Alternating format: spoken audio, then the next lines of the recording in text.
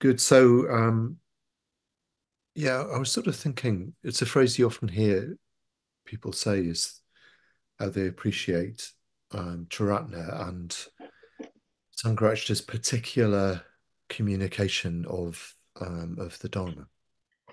Um, so I, I, I sort of got to thinking, well, why? You know, what what is it about Triratna that I particularly connect with? Uh, and what is it about Sangharakshita's particular sort of presentation and emphasis that I feel has, you know, has been sort of beneficial. I was one of those people that um, when I first came along to learn to meditate, I immediately just sort of connected with, uh, well, the FWBO as it was. I didn't feel the need to go around and sort of try out different uh, Buddhist traditions. Um, so in a way, I haven't sort of stood back and compared. But one, of, but one of the things, or the thing that I'd particularly like to um, talk about, is the emphasis that Sangharakshita gives, that Triratna gives to the heart, in in particular to well the transformation of of of ourselves on the heart level, uh, particularly um, positive emotion. So I'd like to begin by reading out a poem by Sangharakshita, which in a way encapsulates this. Uh, you might have heard this one. It's it's just called Sonnet. But in it, he talks about his sort of um, uh, well attitude to to Buddhism, or how how he sort of finds it communicated somehow, and the way that he sees it. Reading some books, you'd think the Buddha way, as though macadamized, ran smooth and white, straight as an arrow, billboards left and right, and that the yellow buses thrice a day whirled past the milestones, whose smug faces say, Nirvana, 15 miles. By 10 tonight, you'll all be there, good people, and alight outside the Peace Hotel where you're to stay. But those who know, those who read their own hearts, inly wise, know that the way's a hacked path, roughly made through densest jungle, deep in the unknown, and that, though burn a thousand baleful eyes like death lamps around, serene and unafraid, Man through the hideous dark must plunge alone.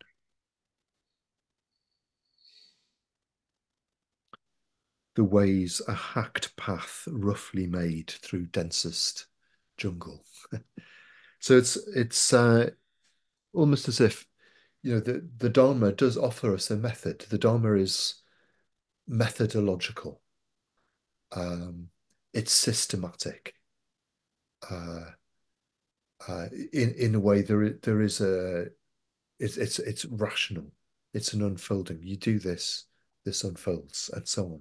There's that aspect to the Dharma, but as it were, the the sort of territory that that applies to, the territory that that is mapped onto, is actually the human heart. Um, and the human heart is is a bit like a jungle, or the human condition uh, you know, all of our, well, our whole sort of emotional depths, our dream depths, uh, our history, uh, our our sort of evolutionary conditioning, um, as well as the sort of particular sort of social situation that we're in, the the background that we're from, um, you know, our, our different sort of psychologies, um, the the the traumas and triumphs that we've come through already in in our lives. Um, uh, these are, you know, these are sort of complex, and even though the the Dharma itself is sort of um, uh, like a method, in a way, somehow each of us has to learn how to uh, apply that in the in the actual real context of this uh, this human life. And that there's an aspect to that that only we can do. Only we can sort of bring the Dharma in and, and bring it home uh, in the midst of all of that that sort of depth uh, and complexity. And I think that's something that Sangharakshita really gets. I think it's something that really comes across um, in his teachings. I had um, a conversation. Um, I didn't. I didn't really know Sangharakshita very well. I came across him a few times, but one of the conversations, he, in in a way, that that there'd always be a sort of teaching that I found. And one of the conversations that I had was uh, actually it was on my ordination retreat out in Spain, and Sangharakshita had come to stay. Used to have a house further down the valley, and he came up to to visit uh, for dinner one evening, and um, I ended up sitting next to him. And uh, for some reason, the subject of opera came up, opera music came up, and um, uh, I think I think I, I had the sort of sense that with the Dharma, it's very important not to be sentimental about stuff. So I, I just sort of made some comment perhaps thinking that it would meet with approval, made some comment that, oh, I, I found opera music too sentimental. You know, just uh, it's not it's not a good dharmic thing, and so. And uh, actually, Sangharakshita just wouldn't have it at all. He just turned to me. Oh no, he says, no, no, not at all. He said, uh, very important that we we get in touch with our emotions. Yeah, very music like that can really help us to um, to contact our emotions. And I think what he realized was that, well, I, and probably um, a lot of people in in the West or even in sort of modernized cultures generally, uh, can often be a bit alienated from our emotional experience. Um, and in a way, in order to practice the Dharma, the first thing we need to do is to develop a sort of awareness of that, to, to sort of be, um, well, to be from the heart a bit more and less from, less from our heads. Um, so um, I, I, I took that as a bit of a sort of teaching. uh, and actually nowadays I do sometimes listening listen to opera music.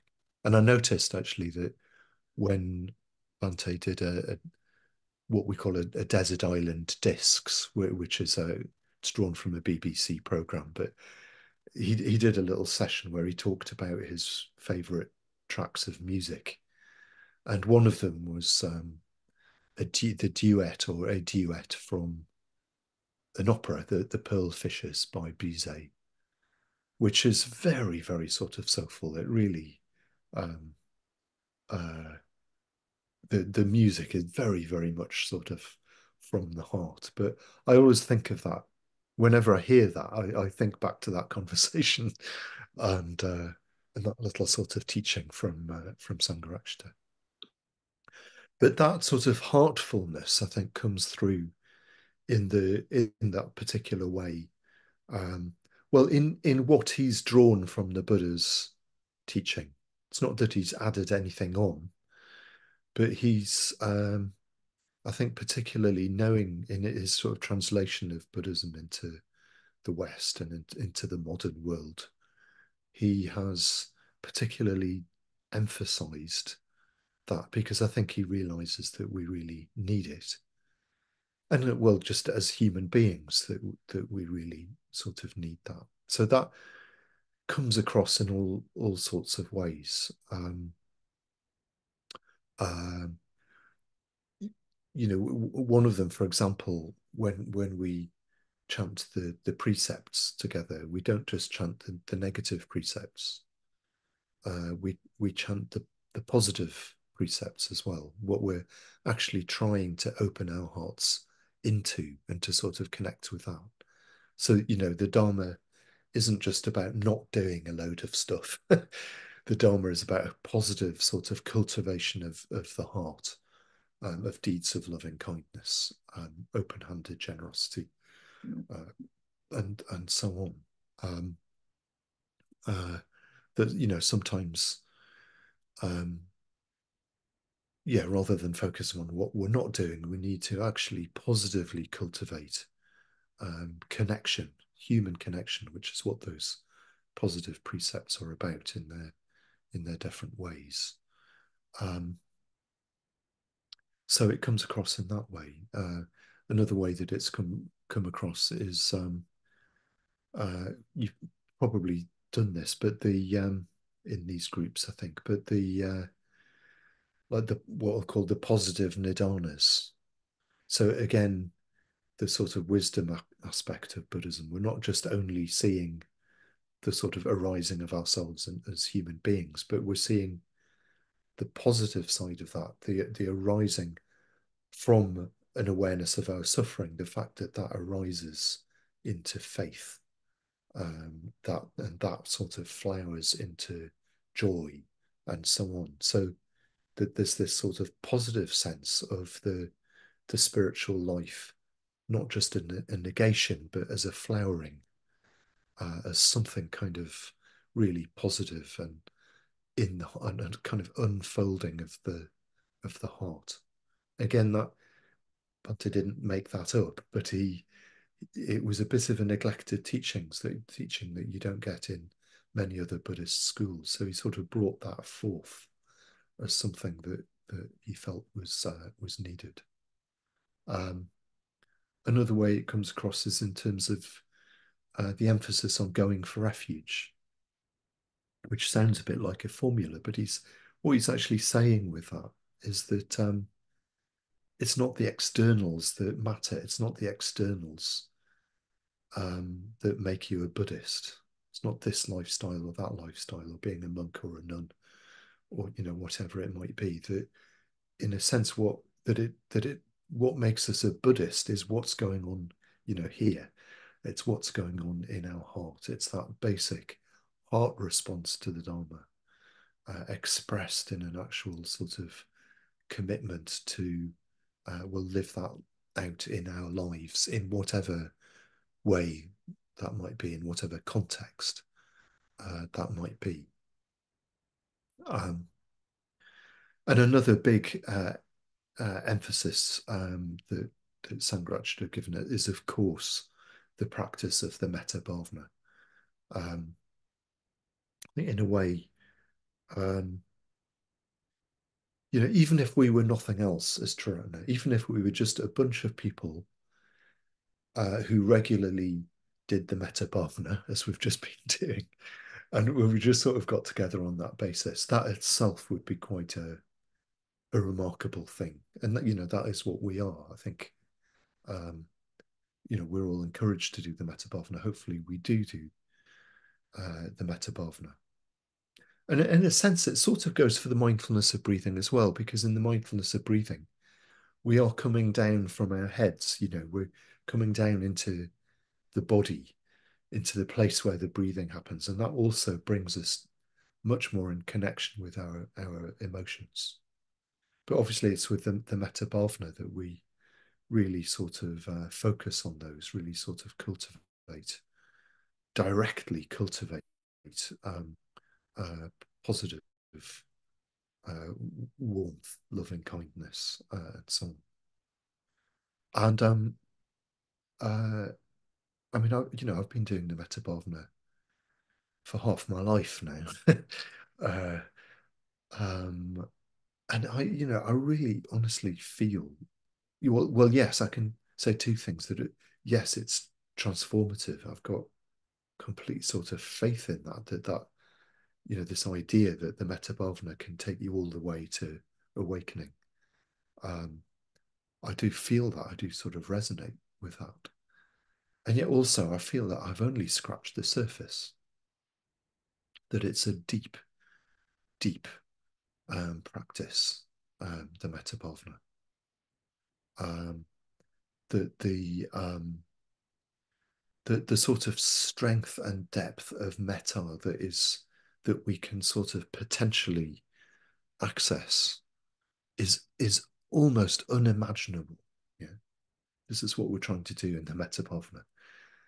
Uh, you know, we should never sort of think that we've we've sort of mastered the the Bhavana, that we've sort of finished it, that we've got it. You know, sometimes I, I do that. Sometimes I sort of suddenly another aspect of the Bhavana sort of gets to me, and I think, all right, now I understand. but even that's only provisional. Even that's only provisional. And um, I think, um, uh, yeah, just occasionally it's good to just sort of glimpse how how deep that can go, or or, or just sort of realize that there are always sort of more depths, stronger sort of metta. In a way, you could say, you know, we've never you never finish the Metta Bhavana. You've never done it. You can never sort of put a tick next to it. Um, uh, you know, un until, you know, until, for example, you really sort of in touch with a sense of metta towards yourself um, that is strong and constant. You know, a, a, a profound sense imbuing every second of your life that you are significant, that you that you matter, um, that that that in a way you are cherished in the universe. That almost like the the universe itself cherishes you. That you are significant. That every action, every feeling, sort of matters. Um, you know, until we can relate to our friends with a complete sense of sort of freedom, uh, complete again that that sort of cherishing uh, of of not sort of wanting anything back from them, but just being complete sort of um, outflow of, of of loving kindness to our friends. Um, until in a way, uh, I'm going through the stages here. You might have noticed until um, any sort of sense of of apathy towards other people towards sort of random people in the street or you know where you work that in a way you're constantly aware that you're surrounded by cherishable beings uh, who've got their own life uh, and you you know you're able just to sort of access that in an instant. Um, and, until uh, uh, our, our sort of feeling for loving kindness is kind of strong enough to overcome any views that we have, any sort of opinions that we have, any judgments that we have, any sort of sense by which we might kind of think of people as other, as different, uh, until it's strong enough to go again a, a, across these sort of great divisions of um, well, different religions, different genders, different nationalities, uh, and so on. Um, you know, until uh, yeah, until our um, metta is sort of strong enough to completely overcome any kind of uh, instinct towards enmity um, or conflict uh, in any way. Um, but but just to uh, well to, to sort of meet conflicts with complete love and kindness um, then in a way well we haven't um, we're not done with the metta bhavana before all those things uh, are in place um, so um, yeah you know I, I, just really appreciate that that is right at the heart of our practice as um, again, it's something taught by the Buddha, but something that Sangharakshita has sort of brought forth um, into each of our lives. And of course, the ultimate, and I'll finish with this, the the, the ultimate sort of expression of positive emotion, um, which which you won't find in in every Buddhist tradition, but which is which is really at the heart of Triratna is the is the Bodhisattva ideal That in a way the whole um, the whole sort of basis for doing what we're doing um, is to sort of burst beyond the bounds of self. That it's not about my practice, isn't just about me. It's not even just about me developing a nice little sense of metta, loving kindness towards other people. It's it's bigger even than that. Uh, that um, uh, that in a way through the the metta bhavana, we're sort of making a gift of our our lives. It's almost this sort of feeling that our lives, um, that the our being is almost meant to be given away. That that uh, the point of a human life is to is to give it away. That's where it reaches its sort of deepest beauty, its deepest meaning, its de- deepest um, fulfillment. Uh, and that you know that that is expressed um, in the in the bodhisattva ideal, and of course the bodhisattva vow, which was something that that um, took from Dhardo Rinpoche. Uh, and again, that that connects us into a, a whole sort of bodhisattva lineage. Um, uh, again, that you know we're not just um, practicing uh, in our own little context, but we're part of a kind of human, a lineage of human beings who've who've uh, practiced in this way, who've given their lives um, for the benefit of uh, all beings, uh, human and non-human. Uh, that they've uh, done that, you know, for centuries, and this sort of goes back to to the Buddha it's not in other words it's not just an abstract teaching buddhism it, we're actually connecting in again to something of the heart something human uh, we're connecting into this sort of these this lineage of lives um, uh, that goes back to to the buddha himself so um, I, you know i think that's what i if I if I had to sort of choose one aspect of of Triratna and of, Sangharakshita's presentation. I think it would be something along those lines, just something that, um, something of that sort of openness, that it's not, the Dharma isn't abstract, it's not about negation, uh, it's about something really um, positive and, and it, it meets the complexity, it meets all the, the flaws and the shortcomings uh, um, the complications and the you know the the dense jungle of uh, of what it is uh, to be a human being. So yeah, I'll leave it there. Um, if you've got any questions or comments, we've got five or ten minutes left. So fire away. Thanks, Akuppa.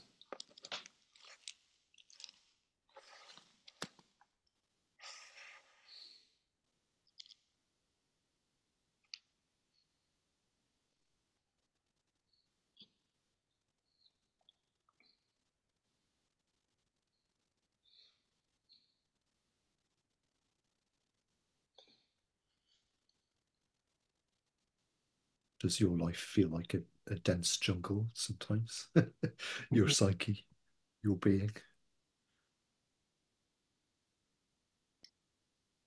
And then what you said about the Bodhisattva ideal and as a giving away of one's life, that you know that sounds quite challenging in the midst of having a, a jungle of a life. How how you know how would you do that? Mm. It's quite sort of counterintuitive. Mm maybe. Um, mm. But a gift, I love how you put it, like a gift of our lives. Well, I suppose you you need metta to feel like you have you have something to give. I suppose uh, that you are, yeah, as you say, significant. Maybe maybe, maybe it's sort of because um, I think that can seem quite sort of challenging, but maybe it's just something. If you start doing the metta bhavana, obviously, you know, to begin with, when you do the metta bhavana, it is definitely you doing the metta bhavana, and it's about your practice and your sort of states of mind. But by its very nature, it's connecting you with other people, isn't it? By its very nature, it's bringing you outside of your sort of narrow sense of yourself. It's it's sort of like especially that that moment in the Metta Bhavana where we go from stage one to stage selves and it, it's like that we're crossing a great divide when we do that.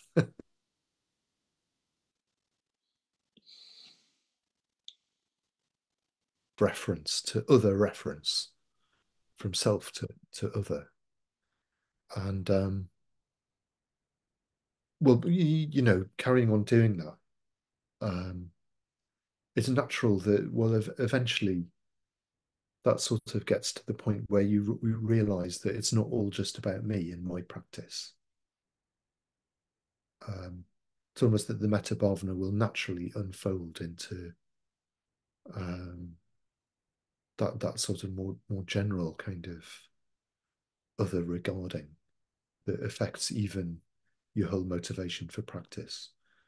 You realize that in a way, I can do the metta bhavana in order to feel happier in myself um, but that ultimately you sort of see that, well, actually, what makes me happier in myself is uh, paradoxically not being self preoccupied.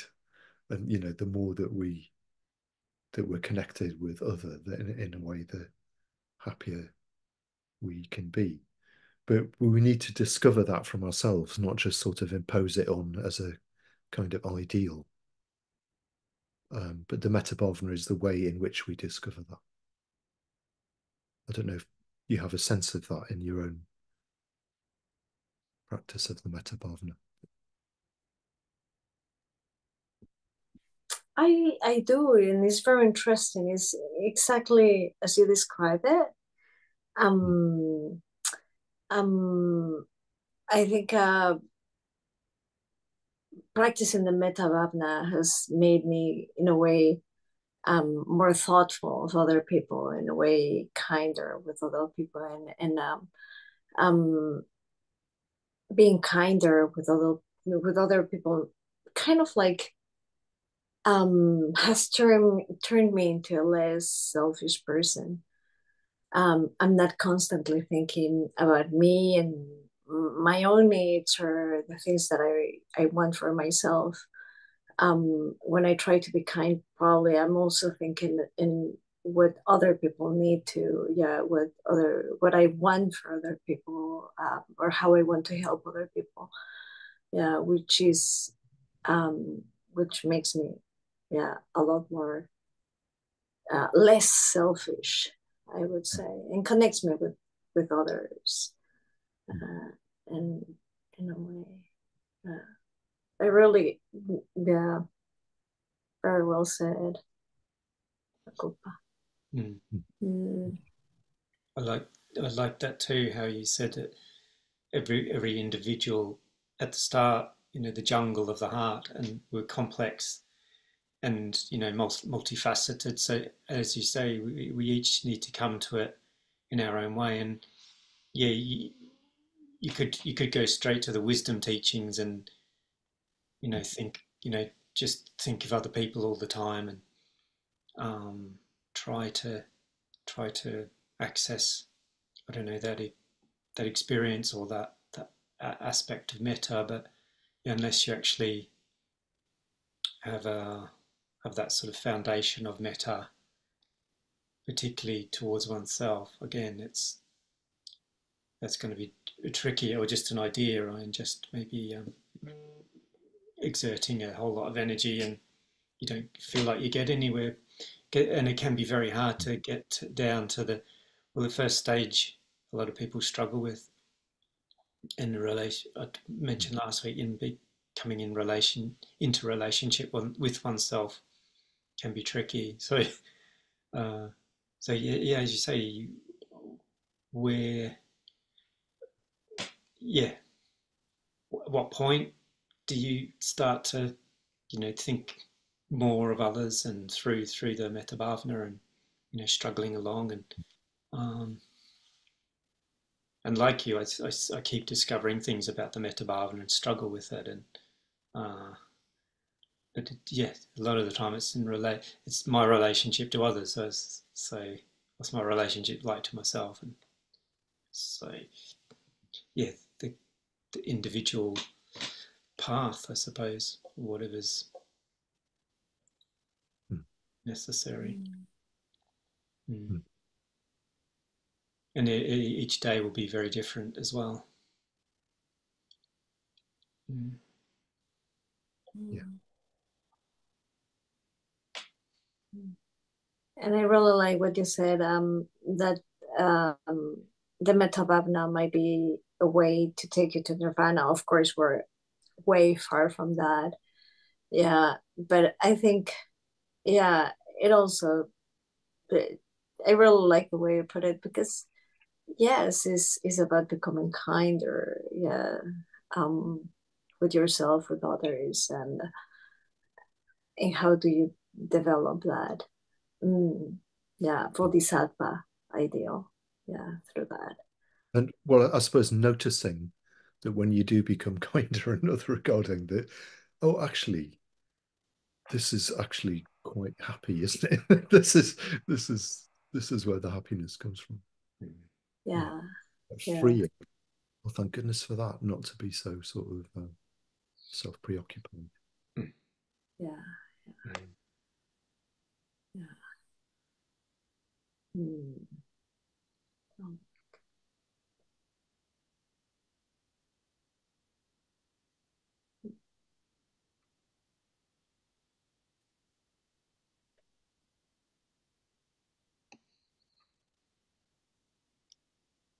And you mentioned the mindfulness of breathing.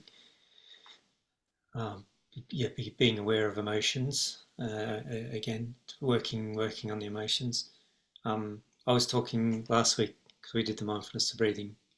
I'd just been hearing a bit about again relationship um, and how that how our natural human relationships, being so social beings, helps us or actually stimulates parts of the brain um, that uh, creates growth and connectivity and, and rapport and all of that. And that, so backed by science, the, the re, being in relationship to oneself through the mindfulness of breathing is in a way like doing the first stage of the metta bhavana, you could say.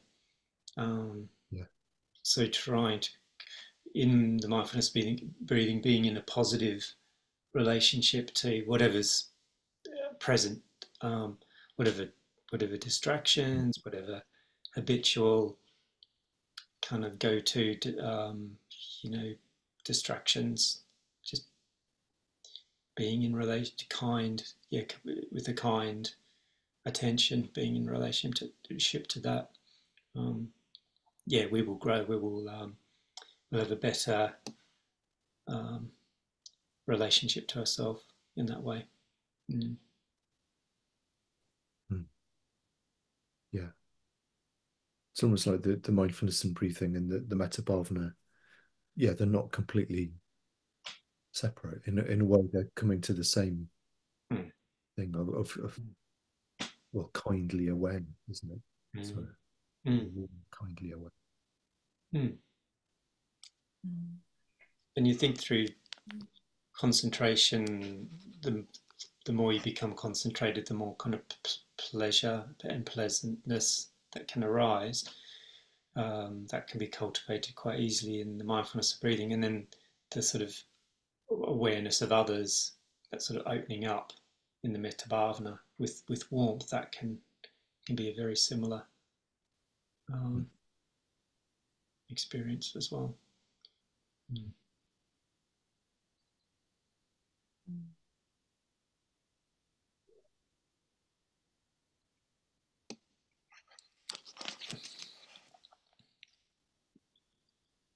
Yeah.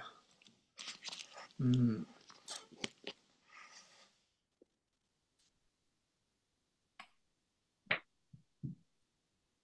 And mentioned that you there was quite an interesting way of seeing it as well that, that uh, as a deep practice being significant in the universe cherishing you as well uh, interesting way of Mm. yeah, being in relationship to to oneself and to to the world. I've not I've not maybe I've heard it in different ways, uh, said in different ways. A bit of a difficult one to express, isn't it? That um, the sort of that sort of depth of self metta, which Mm. maybe just we can just sort of touch on at least from time to time. Uh, but yeah, sort of profound sense of Mm. of being held or um, uh, well, you know, of, of of one's own preciousness in a way, and Mm. beauty, Mm. meaning, and Mm. uh, so on. So you know, how much of our time are we? Does that sort of just get lost a bit, and we we get a bit sort of focused on oh, I've got to do this, I've got to do that, or being good enough, um, you know, whatever it might be, Mm. or you know, trying to be better than others or um, equal to others, or uh, all that sort of striving that we do. Mm. Um, yeah. Are we able to sort of just contact something that can just sort of put that all that aside? Mm.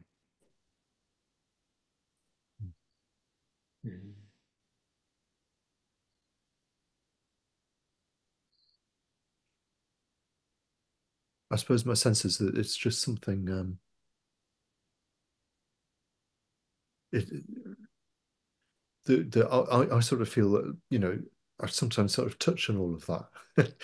I just feel that there's a sort of a much vaster sense of that that's available to, to us to to contact. Hmm. It's it's it's not sort of limited, if you know what I mean.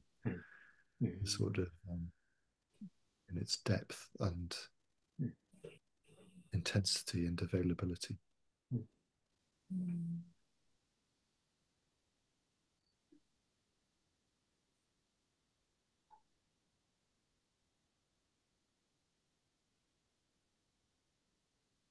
It's very rich.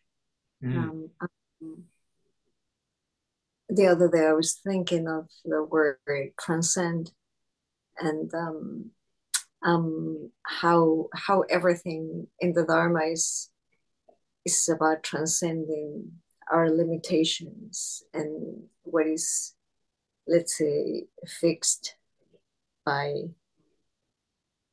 I don't know what but our physical body ways in this life. Um, um, the other day, well, last week we were studying with Fradapa in the in the study course um, about um, um, the fifth precept, yeah, and um, Yamamoto-san and I were talking about the um, the um, mindfulness of purpose. How the mindfulness of purpose is um, yeah and and it's so rich because um we also have to transcend the the um, this adulthood and try to remember how our purity is as we, we were when we were ch- children yeah how pure we were yeah the and every time I see children, let's say uh, they dance, they look at you in the eyes. They don't know you, but they look at you in the eyes. You know, they um, they just do these things that we, because we're so stained with, you know, suffering and all different experiences in life. Um, we just don't do that, but. Hmm. It's about transcending the limits of yourselves of yourself too in the metta bhavana is not not everything is about yourself yeah Yeah, yeah. There is but- something. There's definitely a sort of childlike openness. Mm. Although you know, I suppose it's with thinking that it's not all sweetness and light to be a child, is it? well, the sort of suffering and and and so on. That they're not sort of completely pure, but there's definitely it's definitely true that there is a sort of almost like a childlike openness which Mm. which we need to sort of bring to things. Yeah. Yeah.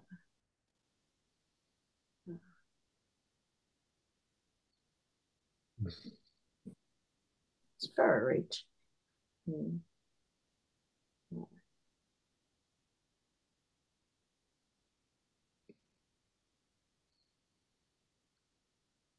Mhm. I think I've, I've actually I've, I've just remembered I forgot one of my other points about Triratna, which is perhaps a bit late to sort of bring it in, but um because I didn't have the list in front of me. Um, uh, the other point was just the emphasis on friendship, which is a, a massive aspect of all of this. Again, of it being a sort of path of the heart. Um, Hmm. you know the uh, which is a huge emphasis of, of Triratna, which I think we, you know, is often remarked on by by other Buddhist schools as a sort of real positive, the sort of sense of friendliness and and friendship. Um, you know, you often hear of other schools where people sort of go to a meeting, get the teachings, and then they just sort of go away again. I often hear that, whereas in Triratnas, there's very strong emphasis on no, we, you know, we form sanghas. We're doing what you're doing here.